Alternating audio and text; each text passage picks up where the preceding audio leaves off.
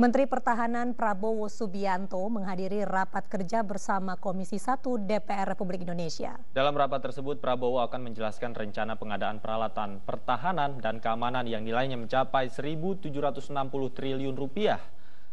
Menteri Pertahanan Prabowo Subianto tiba di gedung DPR RI dan langsung menuju ruang rapat Komisi 1 DPR RI. Dalam rapat kerja tersebut, Prabowo didampingi oleh Panglima TNI Marsikal TNI Hadi Cahyanto serta para kepala staf TNI. Prabowo mengatakan dalam rapat itu dirinya akan menjelaskan secara gamblang kepada Komisi 1 mengenai rencana dan strategi pertahanan. Namun, Prabowo enggan menanggapi lebih jauh terkait isu rencana pemenuhan alat pertahanan dan keamanan yang anggarannya disebut mencapai 1.760 triliun rupiah. Yang terhormat tanpa mengurangi kita akan uh, paparkan rencana-rencana ke depan, tentunya akan ada tanya jawab dan sebagainya. Pemirsa, sementara itu Kementerian Pertahanan berencana memodernisasi alat sistem persenjataan utama dengan menyiapkan rancangan peraturan presiden. Ya, dalam draft yang masih dalam pembahasan itu, anggaran untuk pemenuhan alat pertahanan keamanan mencapai 1.700 triliun rupiah.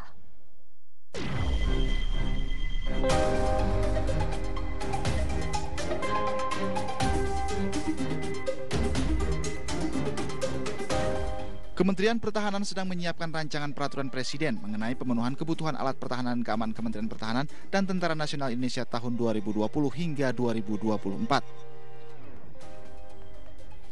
Dalam dokumen yang masih dalam pembahasan itu, kebutuhan anggaran untuk memodernisasi alutsista hingga tahun 2024 mencapai 124.995 miliar dolar Amerika Serikat atau setara dengan 1.700 triliun rupiah.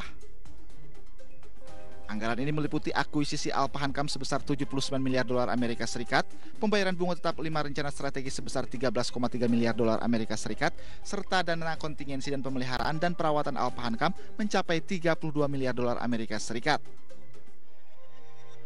Namun, Kementerian Pertahanan menolak mengonfirmasi mengenai besaran anggaran sebesar 1.700 triliun ini.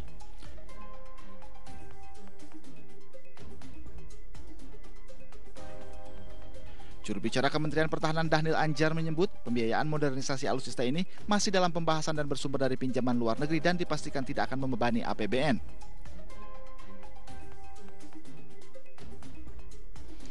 Sementara itu, anggota Komisi 1 DPR RI dari fraksi PDI Perjuangan Effendi Simbolon mendukung rencana modernisasi alat pertahanan keamanan ini, namun sumber pendanaannya harus dikaji ulang.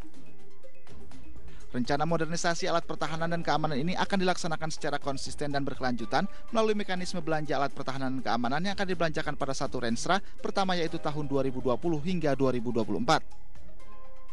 Diharapkan postur pertahanan ideal Indonesia bisa tercapai pada tahun 2025 atau 2026 dan bertahan hingga 2044.